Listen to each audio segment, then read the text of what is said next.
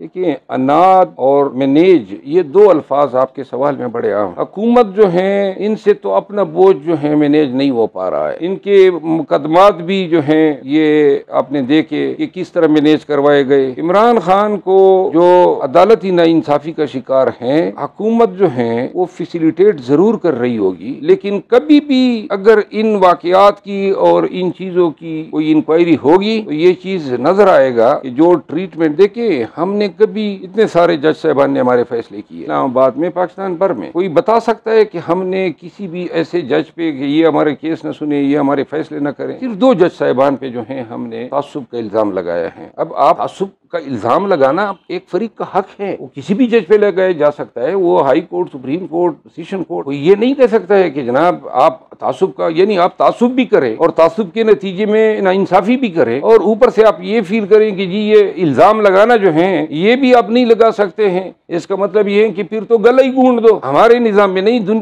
तमाम दुनियावी निज़ामों में निज़ाम इंसाफ में ये तासुब के हवाले से सेटल्ड प्रिंसिपल्स हैं कि अगर और इस केस में तासुब के हवाले से ये तासुब एक लफ्ज़ ये नहीं है इस ये बाइस जो हैं इसकी बड़ी मतलब ये लंबी पैरामीटर्स है। तो हम जिस तासुब को फेस कर रहे हैं उनकी वजूहत ही एक हो सकती हैं लेकिन जो तासुब हमें नज़र आया वो हमने कौम के साथ भी शेयर किया और अदालतों के साथ भी शेयर किया। देखिए वो शटअप और जवाबी शटअप की तो वीडियो सब आ, मुल्क में पूरे मुल्क में सर्कुलेट हो चुकी है। सबसे पहली बात तो ये है कि वकील फ़ाइल मांग रहा था जज साहब से। तो आगे से वो उसे कहता है शटअप ये शटअप कहना जो है ना ये भी मिसकंडक्ट है। जिस तरह वकील के लिए कंडक्ट हैं रूल्स हैं रेगुलेशन हैं तो अगर कोई भी जज सुप्रीम कोर्ट का क्यों ना हो, वो मुझे अदालत में एब्यूज करे शटअप करे, या कुछ भी कहे तो किस ला के तहत ममनू है कि मैं उसको उसी जबान में, उसी टोन में जवाब न दूँ?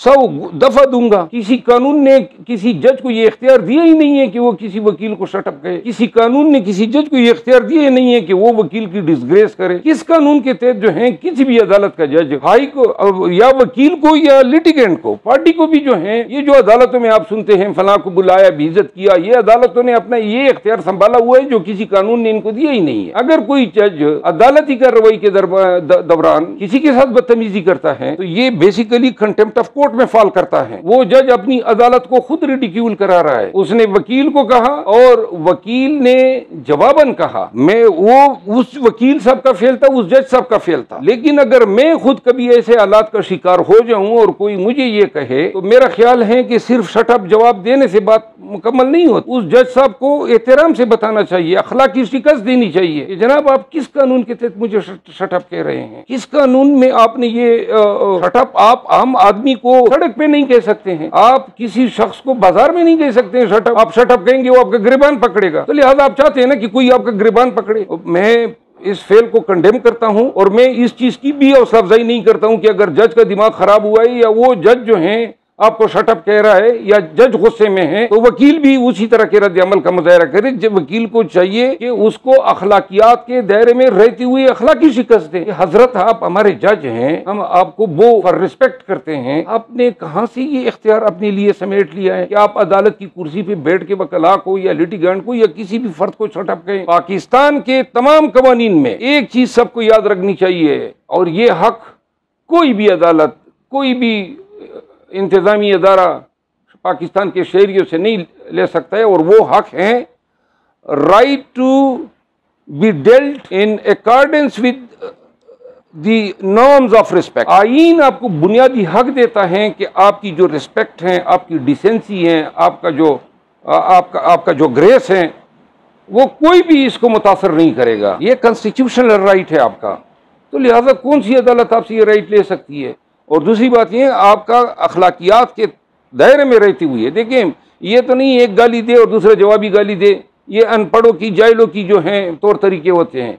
अगर कोई आदमी मिसकंडक्ट करता है तो उसको जवाबी बात, मैं अरे का अपना तरीका कार होगा, लेकिन मैं कम अज़ कम ये रिकमेंड नहीं करूँगा। मैं तो लाजिमन उनसे पूछूँगा कि आपने मुझे ये कह दिए जरा लिख कर दें, या आप इस बात पे डटे रहें। और मैं आपसे, तरीका ये है कि अगर कोई जज इस तरह का कंडक्ट करेगा तो ये कंटेम्प्ट ऑफ़ कोर्ट की जुमरे में फाल करता है। तवीन अदालत की जुमरे में फाल करता है। उस वकील को चाहिए कि लड़ने के बजाय वहाँ, वहीं पे रेफरेंस बना के हाई कोर्ट को भेजे फलां जज साहब ने ये किया। यानी अरुण अमायुन दिलावर साहब जो है, वो जवानी से ही गुस्से के तेज हैं।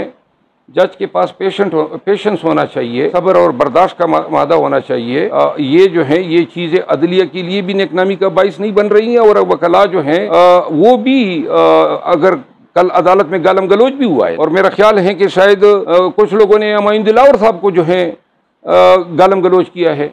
इसको भी मैं कंडेम करता हूँ। ये कहाँ की मतलब इंसानियत है कि आप अदालत में बैठे जज को गालियाँ देना शुरू करें, चाहे कोई भी करें। और वहाँ पे तारड़ साहब जो हैं वकला के लिबादे में प्राइवेट लोगों को लाया था, जिन्होंने ये गालियाँ निकाली है। तो लिहाजा जो लोग भी ये कर रहे हैं, अदालतों को एक उखाड़े के तौर पर इस्तेमाल कर रहे हैं, लोगों को सोचना चाहिए। अदालत को बड़े तहमुल से प्रोसीडिंग प्रिजाइड करनी चाहिए। वकला को जो है, अदालत का डेकोरम अदालत की रिस्पेक्ट ये हम सब की रिस्पेक्ट है। शरियार अफरीदी की जो उन्होंने बावलपुर में, एफआईआर में 109 के तहत उनको गंदम चोरी के इल्ज़ाम में इम्प्लिकेट किए हैं। इस हवाले से आज ही मैंने Lahore high court, Rawalpindi bench में पिटीशन जमा कर दिए और कल एक्सपेक्टेड है कि कल वो टेकअप होगी। G H Q attack case में भी कल शाहरियार अफरीदी की ज़मानत पे बास हैं। तो पेशावर हाई कोर्ट में भी कल शाहरियार अफरीदी की रिट पटिशन कुआट की डीसी की तरफ़ से जारी करदा तीन एम में उसमें भी डीसी को तलब किया गया है उस पर भी समात होगी। मेरा ख्याल ये है कि शायद शाहरियार अफरीदी के घर के लिए आ, अच्छी खबरें हैं कि चंद दिनों के अंदर अंदर होपफुली वो अपने बच्चे शाहरियार अफरीदी प्रेस कॉन्फ्रेंस करने वाला होता तो बहुत पहले का कर चुका होता और दूसरी बात यह है हम प्रेस कॉन्फ्रेंस कॉन्फ्रेंस करने वालों की वकालत ही नहीं करते हैं। जो वीडियो उन्होंने चलाई है इलेक्ट्रॉनिक क्राइम्स एक्ट 2016 और 25 डी टेलीग्राफ एक्ट के तहत ये जर्म है।